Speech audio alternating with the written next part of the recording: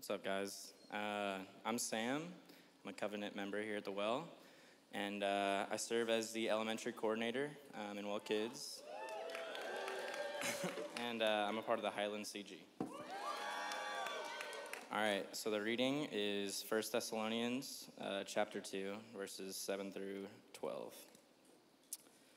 Uh, but we were gentle among you, like a nursing mother taking care of her own children. So, being affectionately desirous of you, we were ready to share with you not only the gospel of God, but also our own selves, because you had become very dear to us.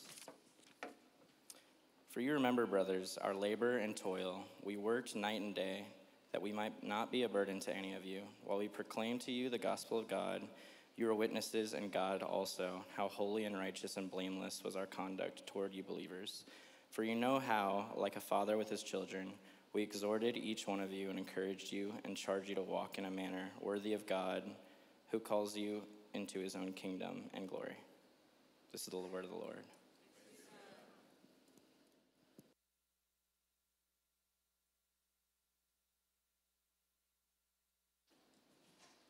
Hey, what's up, y'all? Um, hey, good morning. Good to be with you all. Um, hey, I was supposed to be preaching today, um, but if y'all remember, a couple weeks ago was sick, and so uh, still been lingering. Don't think I can go through a full sermon, and so was not able to go today. So y'all can pray for that, um, so that I can dunk at next year's CG Olympics as well. Okay. Um, but uh, man, wanted to bring up uh, one of uh, a dear friend of mine who we actually met about a decade ago uh, around this topic of discipleship that we're going to be talking about this morning. Uh, that's kind of how we first had a bromance going on was around the idea of discipleship. Andy Kampman um, has been working in the missions world for the past uh, several years and has mobilized probably more people than most of us could ever dream of. Uh, he's a humble man, he is a gifted man, he is a godly man. And Andy, uh, a few months ago, actually joined our staff team as well as a mobilization coach. Yes, praise God. That's big news um, really trying to help us mobilize people towards the nations. And so um, I could think of very few people to actually uh, give this sermon off that would be better um, to communicate on discipleship, much better than I even. And so I'm excited for y'all to hear Andy, to welcome Andy this morning. If you know him, you know uh, very well that he is uh, a good shepherd. Um, so give it up for Andy.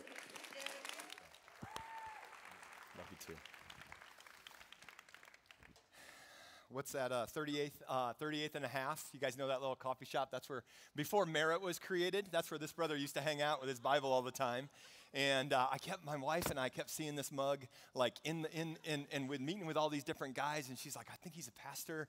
And so, anyways, I won't tell you the long story, but just great affection for Tori and Natalie for this church. And uh, it's just been really refreshing. Like uh, the last six months have been refreshing to us to be a part of this body. And, um, and like Tori said, man, it's been fun to jump in with the staff team.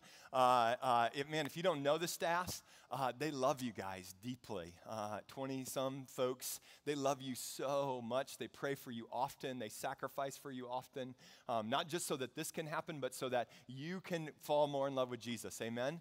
And so it's been a pleasure to get to just, just become a part of that family.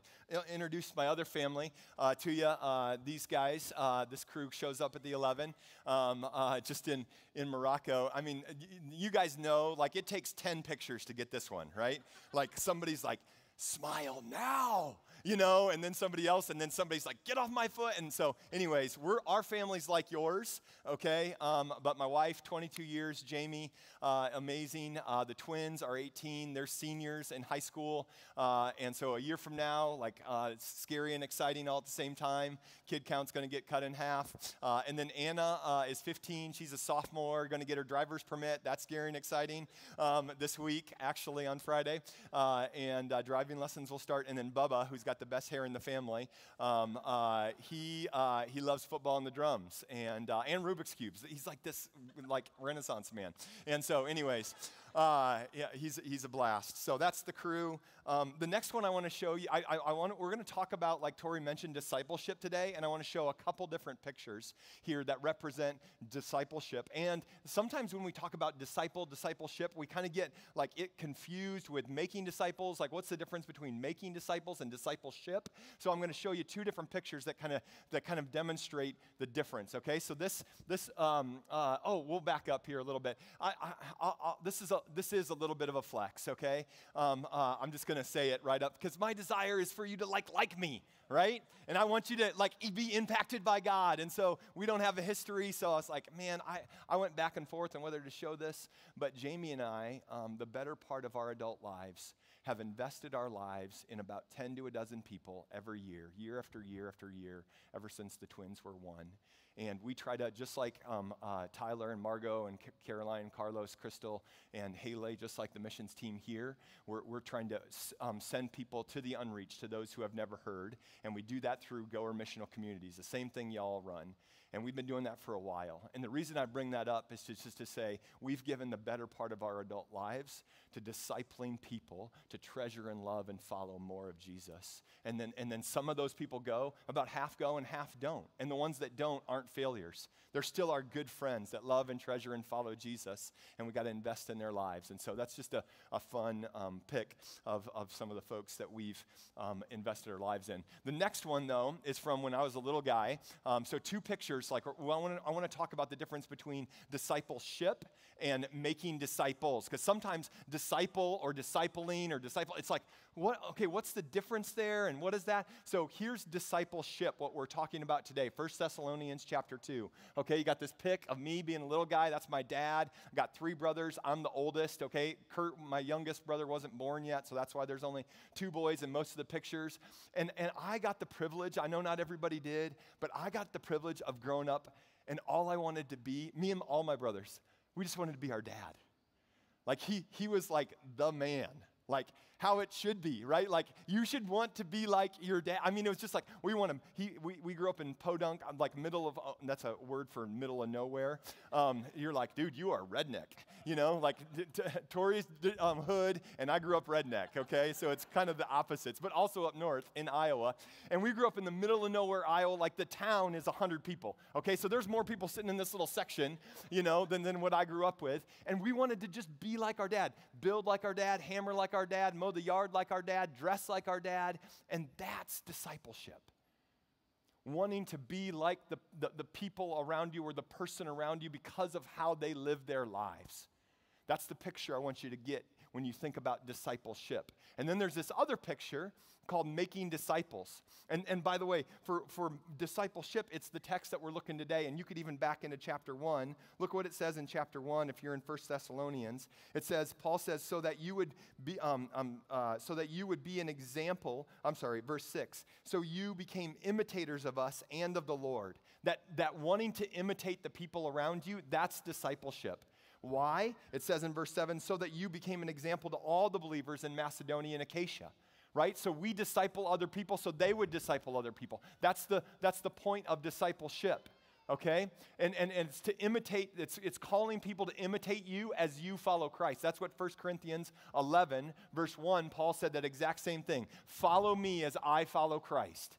That's discipleship okay? Making disciples is a separate thing. You guys tracking with me so far? Right? Making disciples is a separate thing. Often the, the key suspect verse is Matthew 28 19, right? And I got to show a map because I'm like missions guy, right? And, and so Jesus said, Go therefore and make disciples of all nations right? Baptizing them in the name of the Father, the Son, the Holy Spirit, teaching them to obey everything I've commanded you. Surely I'm with you always to the very end of the age, right? Go therefore and make disciples. See, what Jesus wasn't telling his followers on the mountaintop right before he uh, ascended was, hey, I want you guys all to get in groups of two or three and go into the merit of Jerusalem and then like talk about me.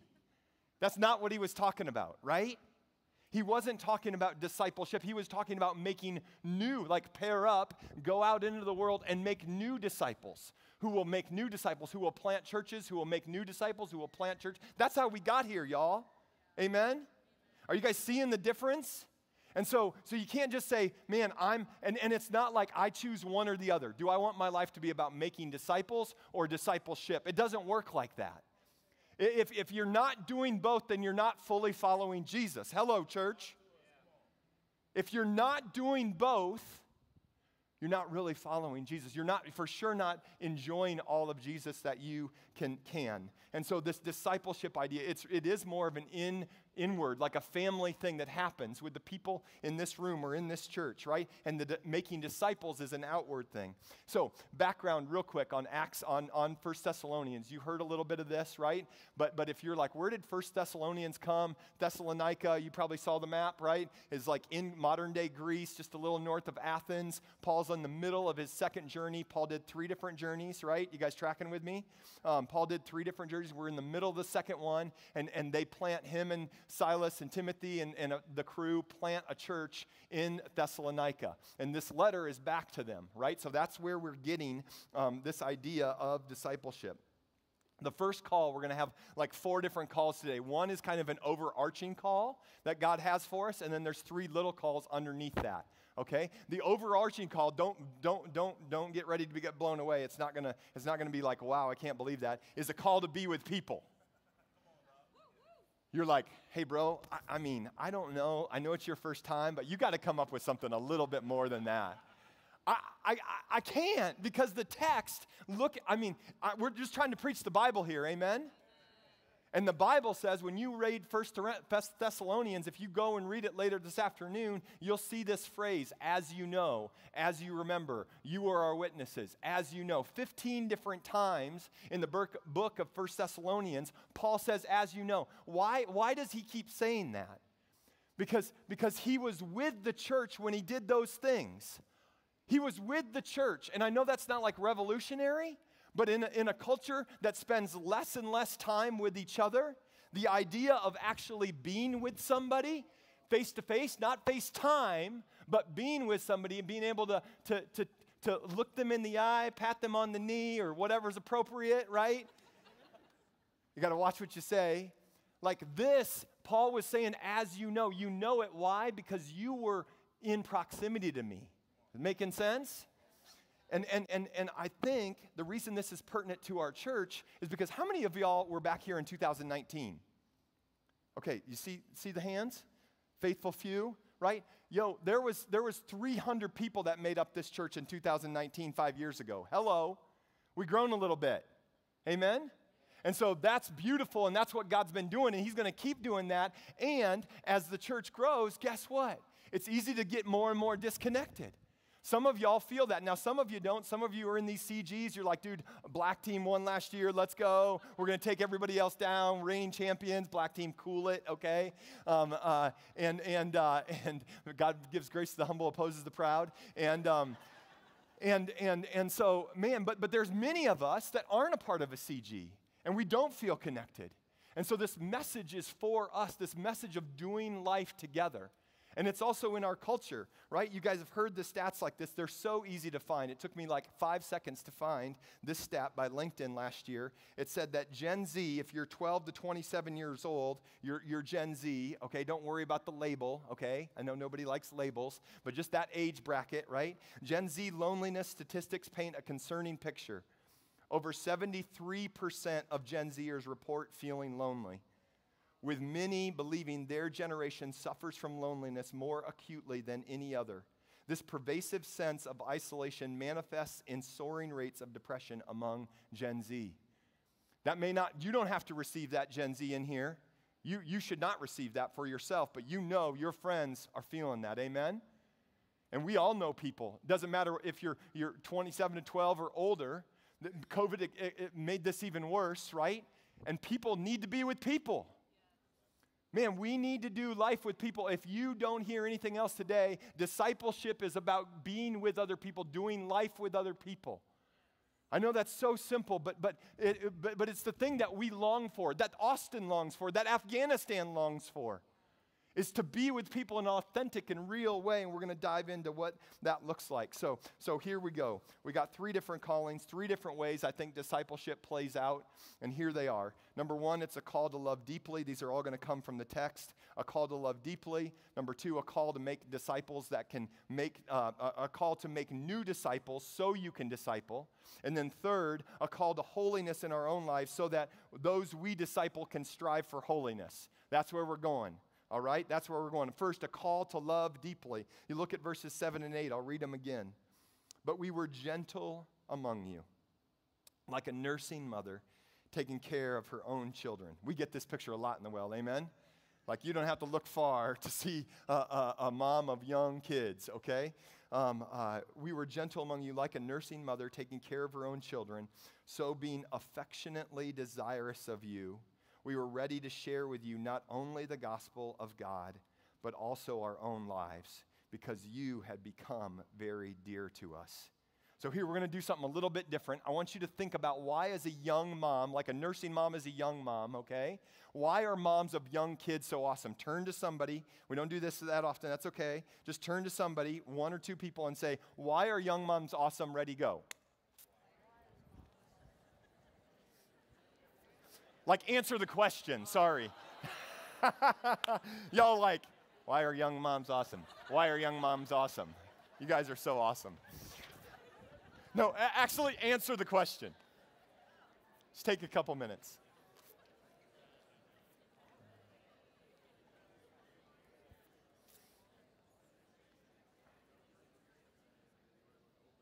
Okay. Okay, you listed all kinds. And the reason I did that is because I, I, just want to bring you into the text, right? That's our desire. The, the, the, preacher gets the benefit of like marinating in these things for at least a couple weeks at a time, right? And so I want to just try to bring you in. Think about the young moms that, that you either, maybe you are one, you know one, right? If you're at the well, you probably know one. Think about why they're awesome, right?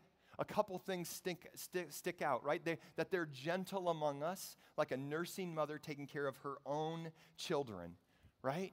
You think about um, uh, what, all the things that, that young moms, especially, and, and guys, don't, don't be like, hey, well, are you saying that all moms should stay? We're not doing that, okay? Like all moms should stay home and it's the mom's role to take care of the, we're not, we're not, we're not going down that road, okay? Um, and, and if that's dad's role in your family, awesome, okay? The text says mother. So we're going to talk about moms right now. Is that, is that cool? Okay, okay. If you want to, if you want to, if you want to work as a full time uh, uh, and, and be a mom, that's awesome. Okay, I got lots of friends like you. I think that's fantastic. But we're just going to do what the text says. Moms uh, step into that awesomeness in a lot of different ways. But one of the things that really um, sticks out to me is I think about how, how they care for their own children and they are consistent on the basics. They're consistent on the basics eat, sleep, and go to, help you go to the bathroom, right? This is a, a young mom's or young parents, that's their life. That's why they look like they look like. Because their life just got real simple. Like Carlos and Caroline about to have a baby, their world's going to get flipped upside down, right? I mean, you, y'all know, you're just in, I mean, little Julia's sitting over there, and it's like, whoo, I remember when we had a life. We don't know more because life got real simple. And, and, and the better you are as a parent or as a mother means that you just do those basic things every day. And then you ask for strength to do it again. And then you ask for strength. And that seems very mundane, but how you think you got in the room? You got in the room because your mother and father consistently did the basic things. And they didn't just do it as a job. If, if you had parents that loved you, th- then, then they did it with gentleness because you were their own, right? How does that, how does that sense of love increase? And, and some of you would be like, well, because we're blood, right? The reason my fam- family loves me is because I'm of their own blood. But what about, we got a lot of families in the well just like ours that have adopted, amen? And I don't love um, um, uh, my son Jamin any more than uh, different than I do J- Josiah, just because one was biological and wasn't wasn't. They just came into our family different ways. And so, how did that love happen? One of the contributions is time. Go back to this spending time with each other a time again and again and again and again and again. And this, this we, don't, we don't do this well in America, amen? We're so concerned about some, some ambiguous, like, um, um, and then I'm not saying the things we do in life aren't important, but our tasks tend to trump our people. Overseas, they get this. When we lived in Lebanon for six months uh, uh, on the back end of COVID, because we're like, COVID's lame, let's get out of here, let's go to countries where the rules aren't so whatever. And so we lived there, and, and we got, we were like, whoa, our sense of time got all rearranged. Most of the world gets this this idea that the same way that a family interacts with each other, that a mother uh, interacts with their, with their kid, the, the rest of the world interacts with each other because people are more valuable than tasks. We would actually, one night I remember specifically, we tried to get out of this family's house. We're like, okay, let's see if we can get out in like two. We know it'll probably be three hours, right? But, but like, could we get, and it wasn't, it was five. And that was just the norm. And then at the end, they'd be like, where are you going already? You know?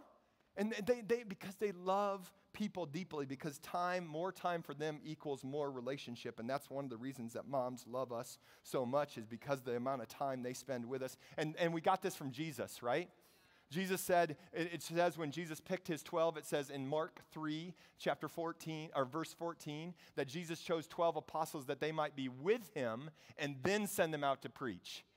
But the with is not all like miracles and awesomeness, right? I think that's one of the, the gifts of the chosen. Uh, I, it's, it, I, I love the chosen. It's okay if you don't. But one of the things that it shows us is just the mundane parts of life and the confusion. And it wasn't always like blessing everybody and walking on water, right? It's like, where's Jesus? Who's going to set up camp? Who's going to get the firewood? How are we going to eat, right? And, and that's the, the reason I'm bringing all those things up is discipleship includes all those things, just like real life was. How do you feel when somebody gives you more than three hours of their time?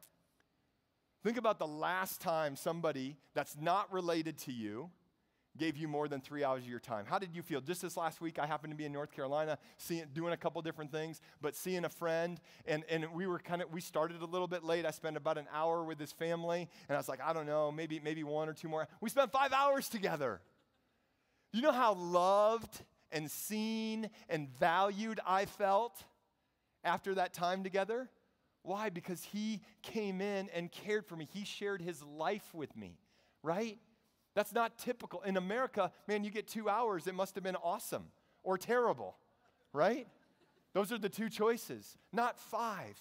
What would it look like if we began to deeply love people by giving our time to them? To the extent that you give your life away to people, is the extent to which you will impact them to the extent that which you give your life away to people is the extent to which you will impact them. I, I, I, think one last, one last story to just make this point. When we talk about loving people or to be gentle among them, we have to rearrange our, our how we talk, right?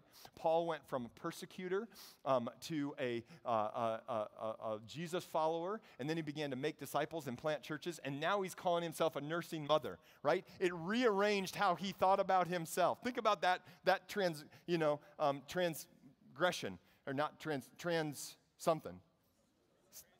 Transition. There you go. Like he went from one to one to one to one to one, right? And, and like it needs to affect us. Like it should affect when we deeply love people how we talk, right? So these nine month groups, one of the things we'd say, like night one, is we're going to say, I love you to each other. And everybody's like, what? Say what? And I was like, no, we're just setting the bar because we're going to, the Bible talks about how we're family, right? So we're going to look people in the eye and tell, and I'm not going to make it weird. Like, I'm not going to look at Nico's wife and be like, I love you. You know, like, we, we ain't going to do that. We're not going to be weird about it, but like, we're going to say, I love you, just like we do with our family. Because if you're getting ready to go overseas to people that don't have access to gospel, you only got each other. So you better figure out how to love each other right here and now. And we better uh, be able to say different words than we're used to, because the love we have for one another, ha, ha, it, that's all we got. And so there's this guy in our, our group. He was a little older. He wasn't married, a little like pretty um, uh, uh, introverted. And he was there. The name's Greg. Uh and, and I just talked about how we're going to love each other. And then as he's leaving, I'm like, hey, I love you, Greg. And he looks back kind of over his shoulder. He's like, love you too. He's like, he's so like, and then he texted me later that night. And he said, Andy, I just want to say thanks. Thanks for just saying, I love you to me. Outside my family, nobody's saying that to me. Friends, when we rearrange how we talk about people, when we deeply love, we're starting to enter into real discipleship relationships. Amen? And so every time I drive by Emerson, right up on 45, that's who he works for, I just pray a blessing on Greg. That mug got married and has twins now. And, and just every time I go by Emerson, I'm like, Lord, pray a blessing on, on, on Greg, you know? And so, okay, here's the second one. Um, we got to keep moving because we got two more and like 10 minutes left. Uh, it's my first time here, okay? Give me a little grace, okay? Uh, the second call is a call to make new disciples so you can disciple. Here's where I'm getting at verses 8 and 9, 1 Thessalonians. So being affectionately desirous of you. Don't worry, we'll come back to that phrase. You're like, bro, you just missed that big phrase. It's coming back, don't worry. Um, uh, we were ready to share with you not only the gospel of God, but also our lives. Uh, verse 9, for you, remember, brothers, our lo- labor and toil. We worked night and day. That's, that's describing also how the mother works, right? And we, um, uh, that we might not be a burden for any of you while we proclaim to you the gospel of God. When most of us hear about this kind of deeply love, we're like, I'll take some of that. But the context of the, of, of, the, of the verse, of the book, is Paul giving this kind of love to the, the Thessalonican church so they could give it to others. Amen? And so here's the call for us because some of you are like, man, I want to be discipled like that. I'd like to get this older man that, like, you know, or woman that's like 20 years my elder and they've walked through some stuff and they just love me deeply like that. I'm not saying that's a bad desire, but I think the primary call for us today, look out, is to actually do that for other people. Like if you've been following Jesus for two or more years, it's time, friends.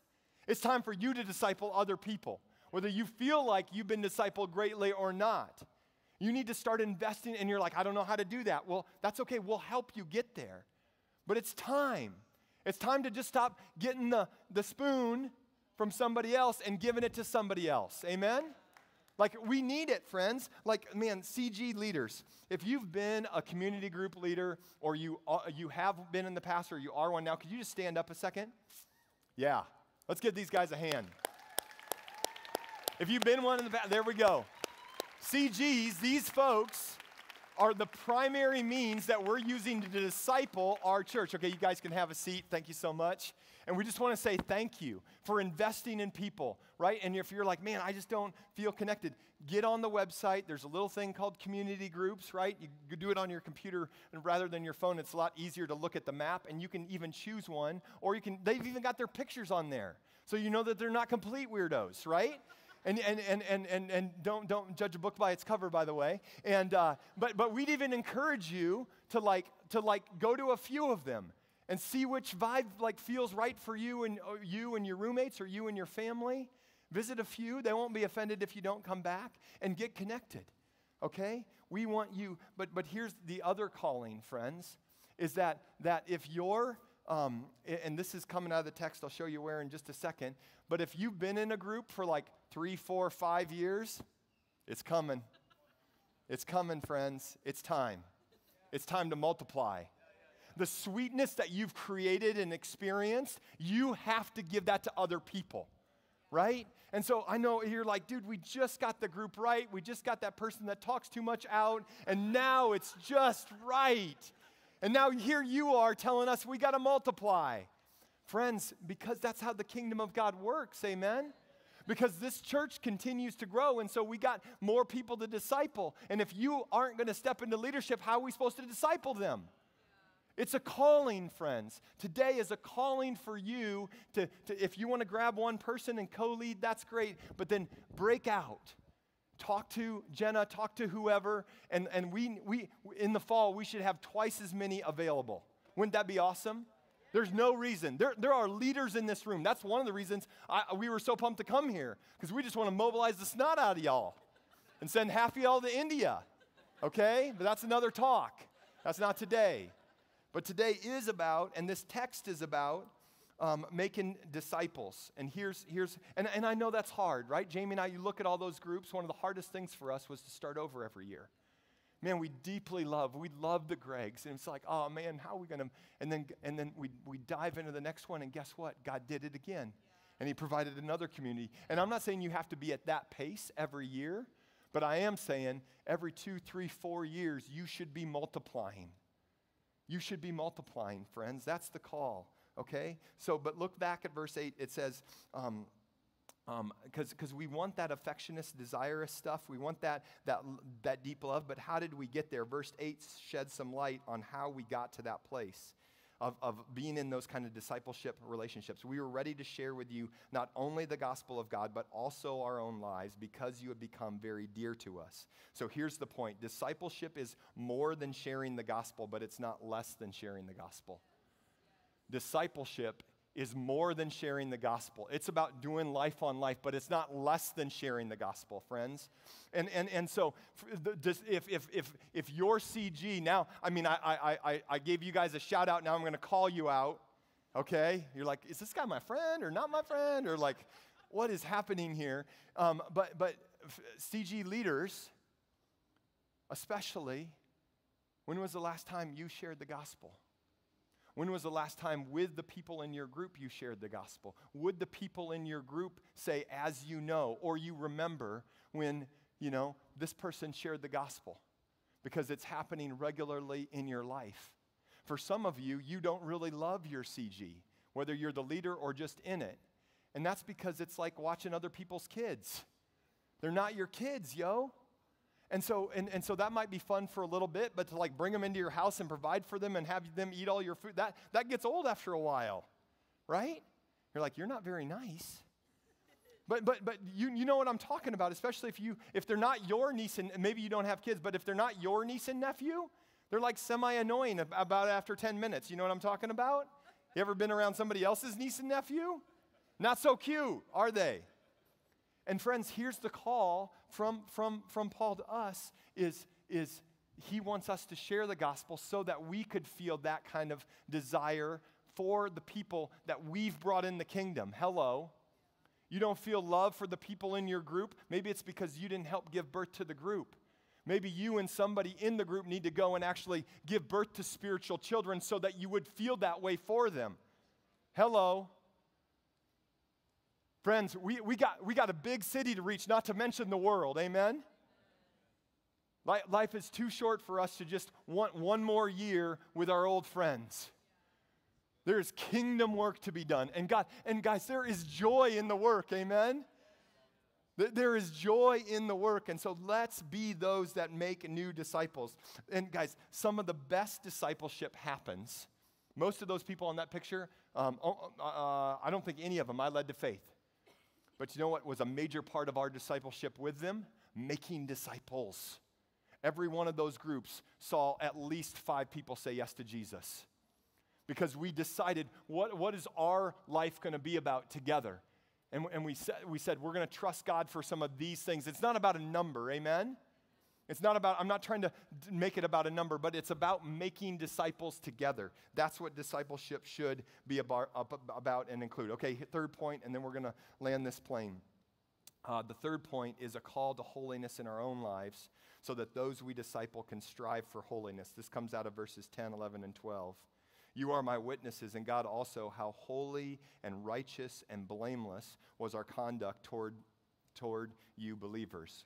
For you know how, like a father with his children, we exhorted each of you and encouraged you and charged you to walk in a manner worthy of God who calls us into his own kingdom and glory.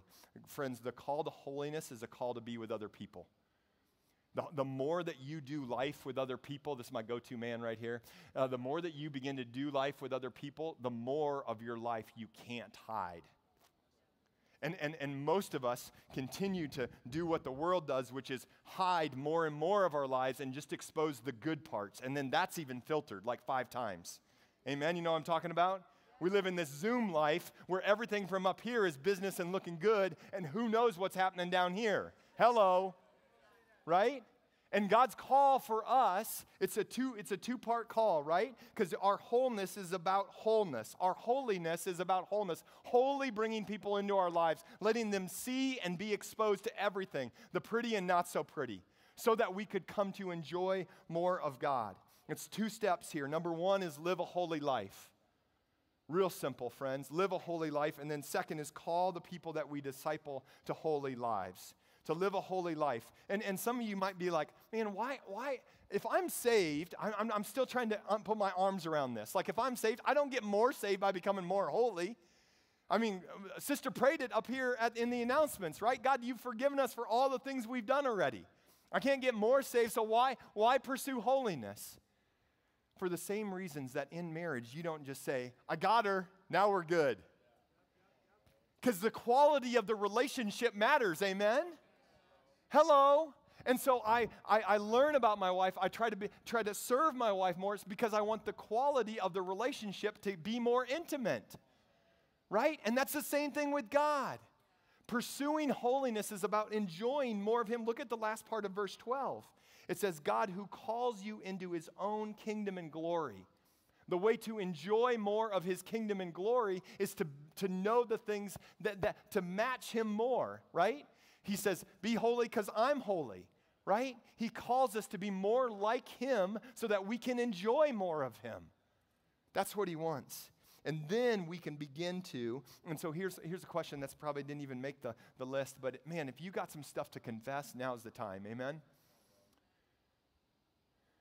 Like if you've been wondering, like, I don't know if I should, I, I, think, I, can, I think I can do it by myself.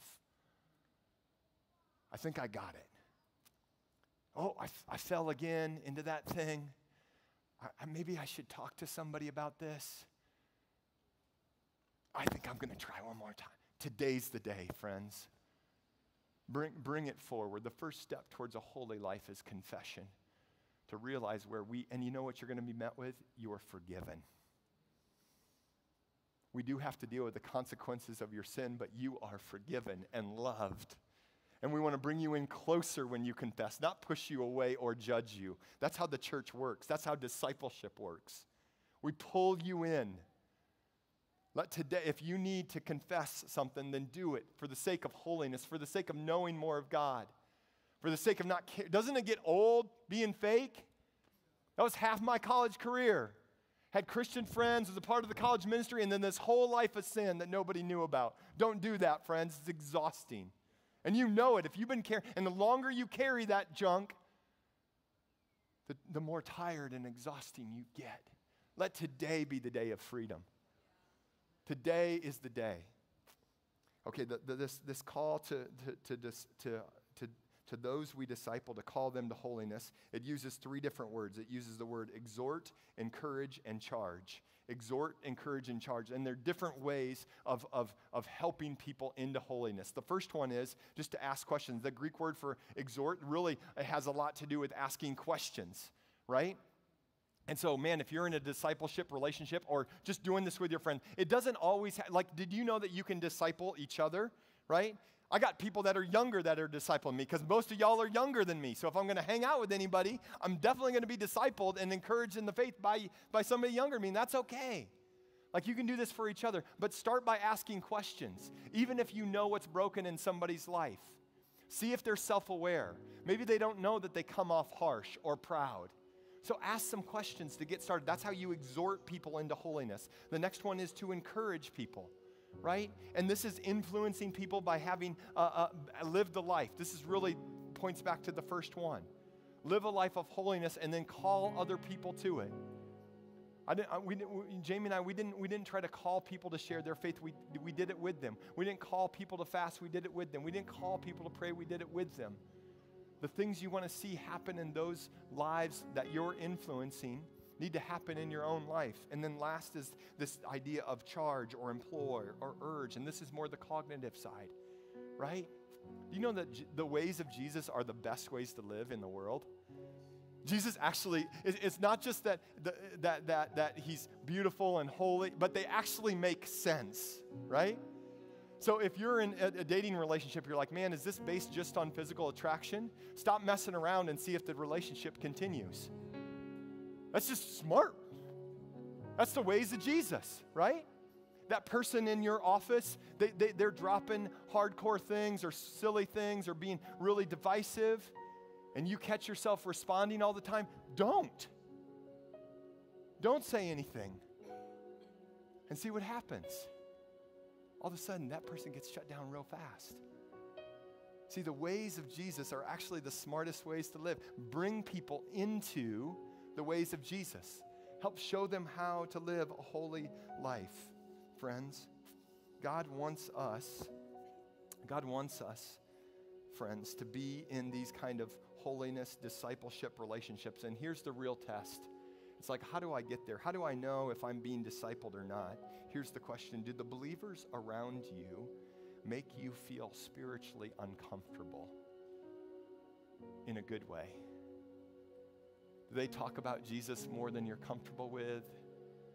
Are they out sharing in the restaurant when you're like, man, can we just chill? Dude, would you cool it? Are they talking about how they're trying to get this one little part of, of maybe pride or sin or judgment out of their life and like, dude, I'm just trying to, to, to not look at pornography? If you're not being challenged in your life by the believers around you, then you are not being discipled. You're not in a discipleship relationship. And I'm not saying it has to be every time, but there should be a pattern when you look back over the year and uh, are you being discipled or not? We'll look back over the year and say, man, was I challenged by the people around me to live more and love more of Jesus?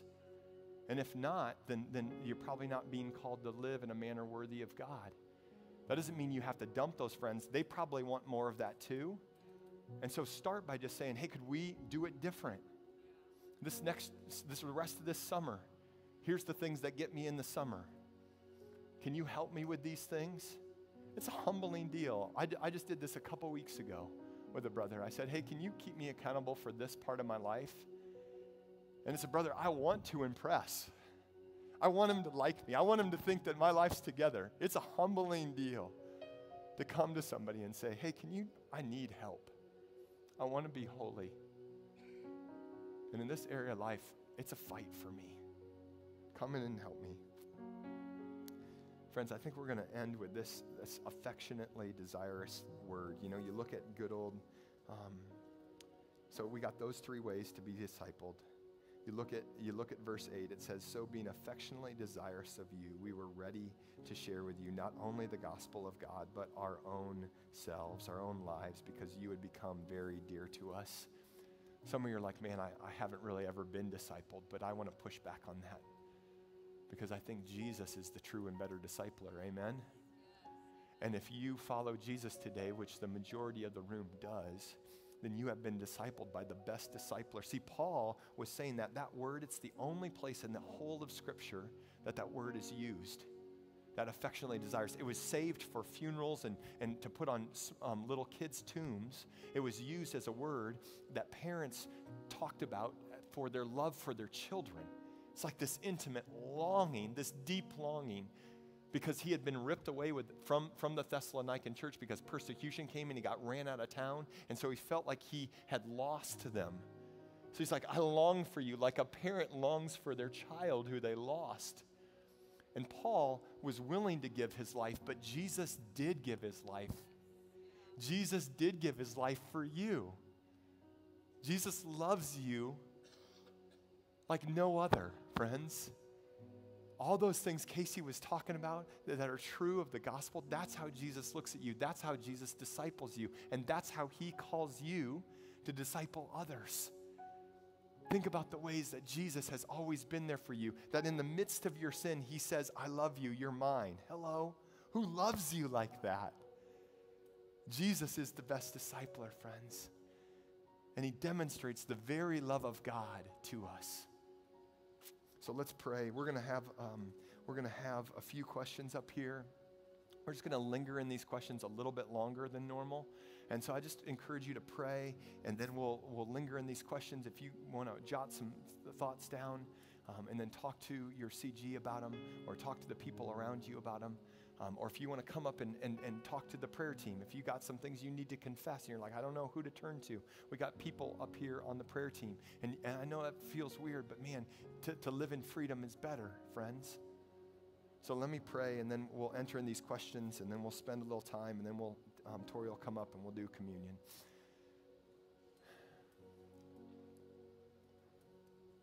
God, we just confess that we need other people in a world that tells us it's okay to just to try to do it ourselves or to do it to work harder. That's not how you designed us. Just you, you even say look at look at me. Three persons all together all the time. Three in one.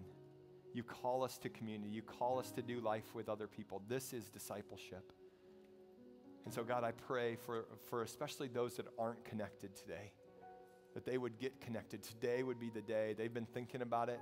Should I join a CG? I don't know if I want to commit. It's going to mean other things need to be put on pause in my life. Would you give them courage today to say yes to living life your way, the best way? Not because it's always easier, not, not because um, uh, it, it means that everything will go right in our life, but because it is better. God, help us today. Help us to say yes to other people, yes to you, so that we'd experience more of your love. Give us wisdom as we look at these things. Help us to be bold in calling other people to do it with. We trust you and believe you for all this. And the church agreed and said,